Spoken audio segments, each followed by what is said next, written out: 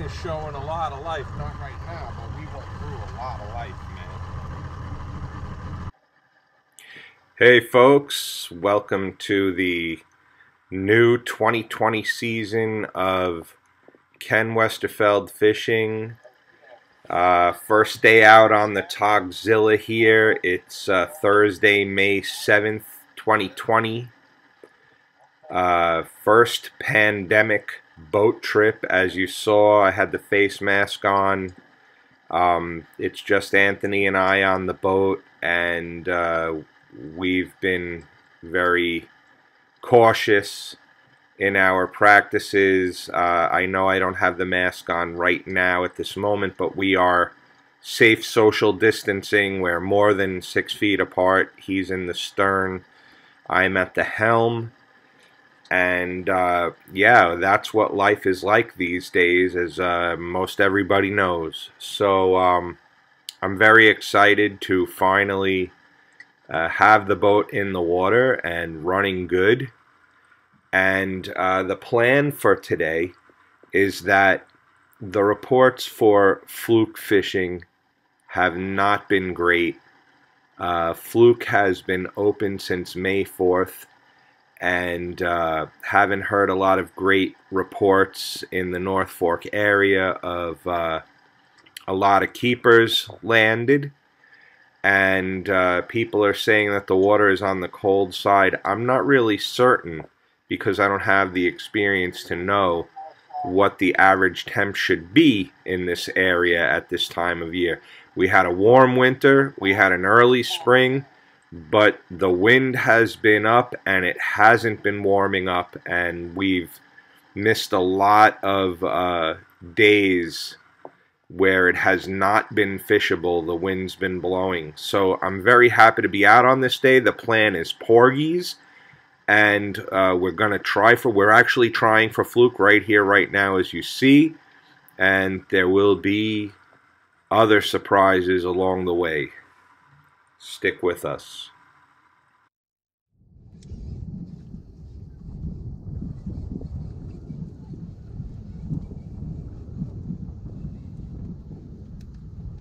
I don't feel like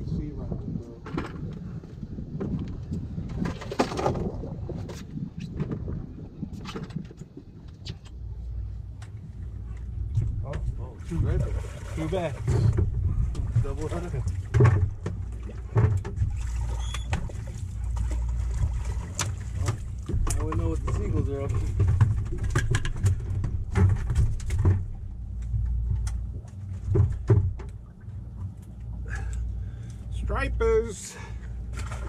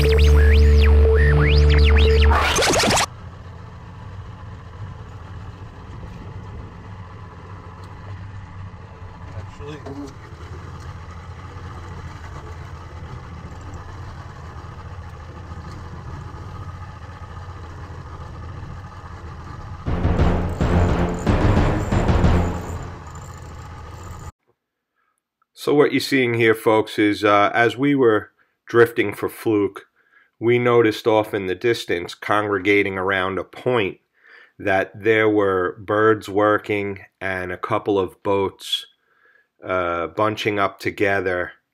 So we made our way over there and we respectfully got in line. We didn't cut anybody off from their drift, and um, we we drifted and I saw what was going on and we got into some bass. And uh, then I switched it up to my gummy shad because I like the light jigging technique, the jig is one and three quarter ounce, and you know that jigs come in many different sizes. So this is a light jigging technique. And um, Anthony had some problems, struggled to get the hang of it, but he did hook a few, and it was a whole lot of fun.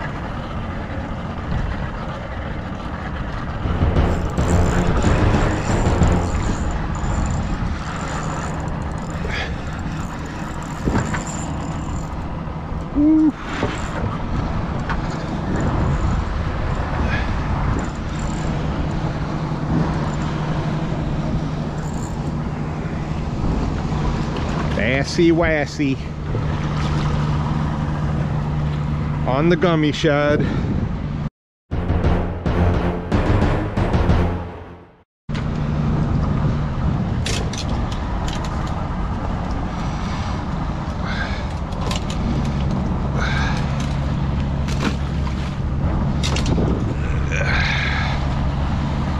Gotta go back up.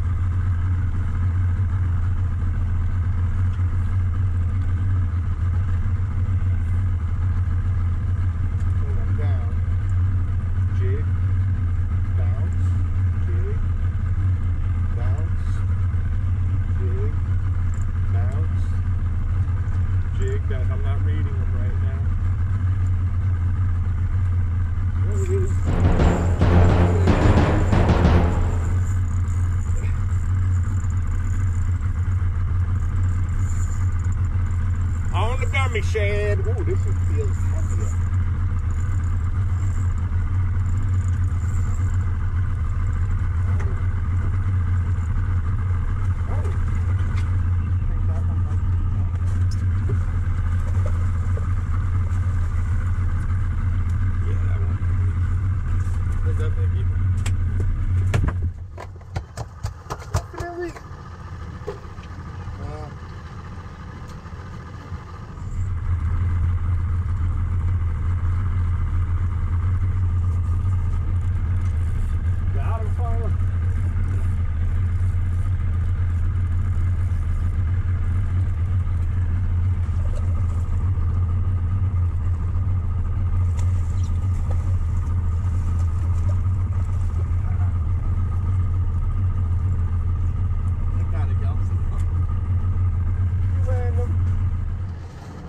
any 40, 50 pounders?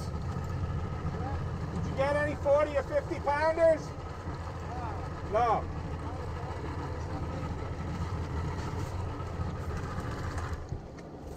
Get any keepers?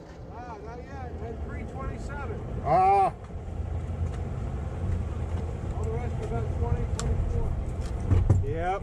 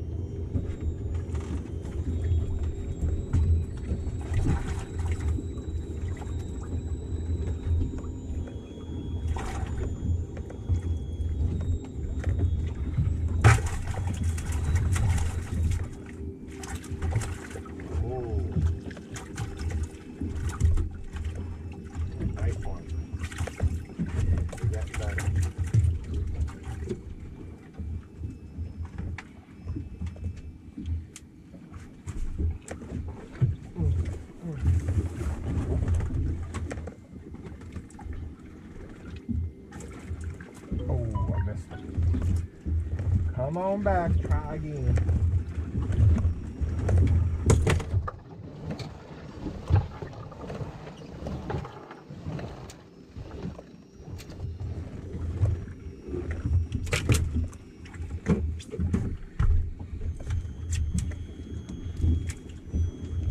While doing the right thing and bleeding.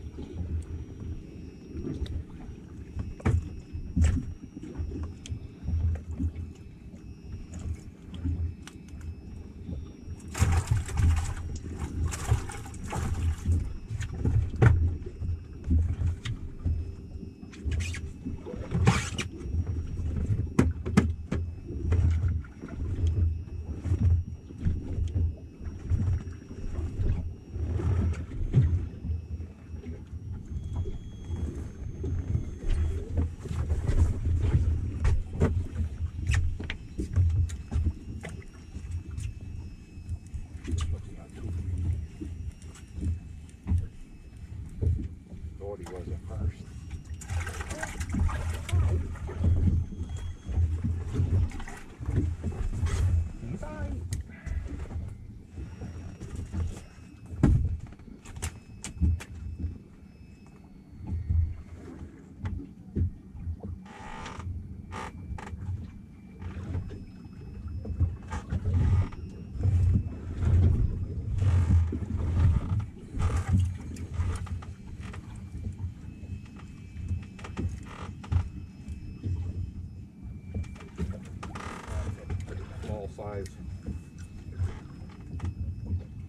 Probably a keeper, but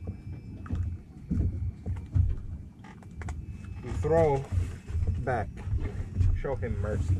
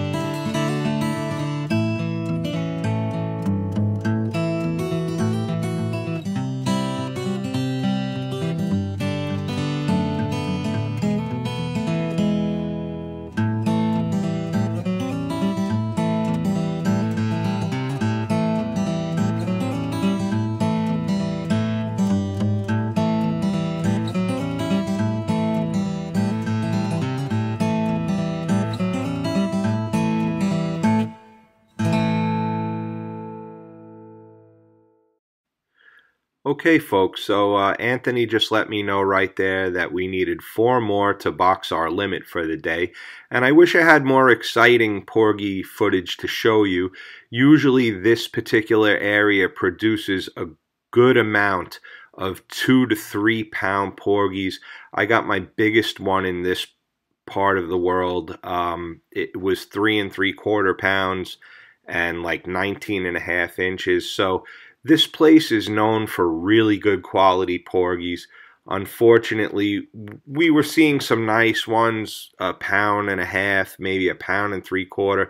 Not quite legitimate two pounders today, but uh, like I said, we were just very happy and fortunate to be out there catching fish, boxing a limit. We had a great uh, surprise innings with the uh, striped bass in the morning and then again in the afternoon as I was on my way back to the dock.